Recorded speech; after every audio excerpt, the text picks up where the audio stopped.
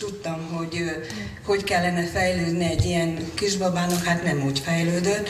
Két hónaposan még a fejét sem tartotta. Édesanyák és édesapák saját történeteiket osztották meg, bemutatták családjukat, sérült gyermeküket, mindennapi problémáikat. Bízunk benne, hogy azért olyan embereknek is segítséget tudunk nyújtani, akik ilyen problémával még nem találkoztak, ha, ha mi is tudunk segíteni, ha másban nem abban, hogy, hogy értékelik az egészségüket, tehát tudják, hogy az egy kincs, mert sokszor természetesnek tűnik. Az Összefogás a fogyatékos emberekkel című konferencián sérült fiatalok és családjuk, szakemberek és intézmények vezetői vettek részt, hogy megosszák tapasztalataikat, nehézségeiket. Azok, akik nem vagy csak kisebb nehézségekkel küzdenek, azok is tanulhassanak az ő esetükből, hogy hogyan lehet egy 24 órás gondozási szükségletű, állandó figyelmet igénylő gyermekkel mégis embernek maradni, egybe maradni, épelmével ezt lebírni, úgyhogy közben még vannak testvérek, van egy fél vagy egy feleség, hogyan lehet ezt megküzdeni. Sokkal kisebb problémákba tudnak,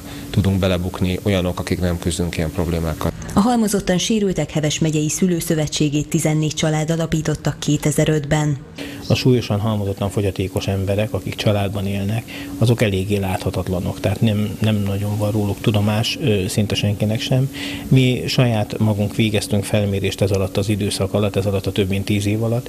Megítélésünk szerint egy olyan 150-160 család élhet itt a, a térségben.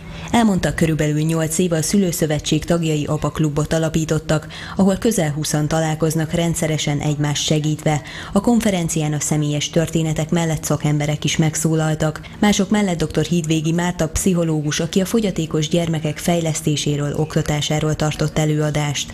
Azért most már intézményes, meg törvény által, jogszabályok által is megtámogatott segítségek is vannak, meg hát nem véletlen az, hogy ezek a civil szervezetek kinőttek a földből, és egyre többen vannak annak érdekében, hogy összefogják őket, és a közös érdekeket képviseljék. A Szülőszövetség február 25-i jótékonysági bált rendez, ahol tombola ajándékokkal és támogatói jegyekkel lehet segíteni az Egyesületet.